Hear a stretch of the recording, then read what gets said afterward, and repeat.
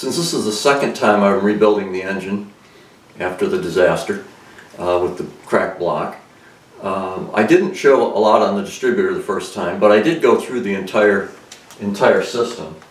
Um, this car uses the standard uh, large cap uh, high energy ignition system and I wanted it all fresh so I did a complete overhaul of the distributor. The first thing I did was check to make sure the shaft was tight. I used a dial indicator and made sure that the, the bushings and the distributor housing weren't loose. Um, this one happened to be very good. And in order to do everything, uh, you have to take out the shaft. So the um, so there's a roll pin um, right here, a spring roll pin that you have to put. You have to hold this assembly in a vise and drive that roll pin out and mark the shaft and the gear in some way so that uh, it goes back in the same orientation. And there's a thrust washer underneath. There's some things to watch for. But if you drive that out and you take the gear off, then you've got the ability to pull it, take this shaft all the way out. And on the shaft, there's a, um, if I can get it in the right orientation, there's a toothed um, pole piece on there. It goes across the points of the magnetic pickup. So I went through this whole distributor. First of all, you pull that shaft out, and then you can work on taking the uh, magnetic pickup out, uh, replace the capacitor, replace the uh, module. I replaced the module and the capacitor. But if you get those first out of the way, and you remove the shaft, and just so you see what they look like, so that's the module the ignition module. Uh, this car uses one that's uh, they call a seven uh, seven pin, five over here and two on the bottom. Um, this is what the capacitor looks like, radio capacitor, and I was just concerned that out of age that the capacitor may not be good any longer. Um, this connector that's on the capacitor goes up to the uh, distributor cap and the other end connects to the uh, connects to the module like so when it's installed. The pickup itself is a little bit tricky. Um, the pickup, I'll try to get you a picture of it. So this is what the pickup looks like.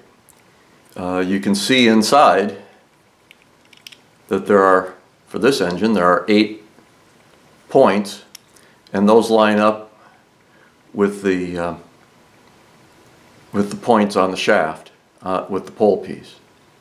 And when the pole piece rotates past those points, uh, that's when you get a magnetic impulse that triggers a spark. Now, this guy is, I'll try and do it this way. In order to take this out of the distributor, you need to disassemble it. You can see it in the shop manual, but they'll run these screws out here. So once you do those three screws, you lift that top piece off. That's called, I think they call the book, calls that a magnetic shield. And then here's that piece with the magnetic um, points on it. Again, show you that. So that comes apart off the top. And then underneath, there's another ring. And then at the bottom of that, you still have the coil that comes out.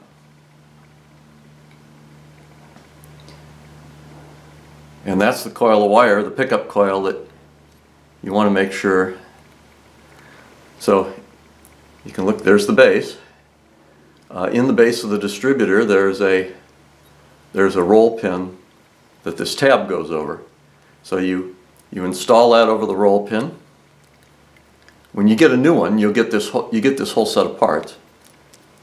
And you drop the coil in, you drop the, I, I guess you call it the magnet in, and it's got a tab in it, or a, I'll call it a recess, that lines up with the coil. So you get it together like that. And then, and this one, with all the, the poles, goes in on top of that. And then the aluminum, the aluminum shield goes in on top of that. So if you had the distributor apart, you would assemble this whole thing down inside there. Uh, there is a washer, as I recall, I think they called it a C washer, but there's a washer that goes inside that it sits down in this assembly. So the one thing that I found was it was hard to get this part out of the distributor because you can see right there, there's a residue on the bottom. This was apparently installed with some kind of an adhesive sealer. This part was kind of stuck and didn't want to come out until I broke that loose. Any case, I replaced that whole assembly. When you put the shaft back through here, you assemble that distributor, the uh, you really have to watch out because these pointed pieces uh, that line up with the pole pieces on the shaft, you have to spin the shaft and make sure that none of these touch. There's enough clearance when you run the bolts down. Uh, there's enough clearance to shift this back and forth or up and down a little bit. And you need to be able to spin the, the rotor shaft. You need to be able to spin this without it touching. And mine did. It, it wouldn't turn freely. Now when you do turn it, you'll feel, uh, I'll call it the magnetic cogging force in there. It kind of pop, pop. Every time it goes over one of those magnetic po poles, it, it wants to stop.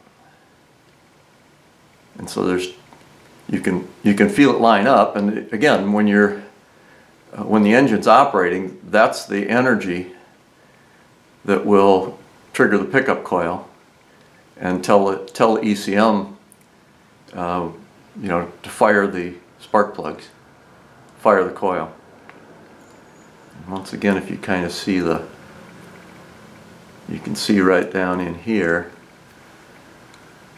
how that lines up as those points go around So anyway, I replaced all those parts so everything was brand new. Then you have to drive the, put the gear back on and drive that roll pin back in. So that's, that's really the prep. Then I'll note also, I did replace the coil on the first go around. Uh, this is the old one, the old cap and the old coil. It's not hard to replace, they're just, you got four screws around the outside. You have connections that drop down into the cap. Uh, the reason this one's apart, you'll notice the bolts are missing out, out of here. The, uh, the new coil didn't come with screws, and the new cap didn't come with screws.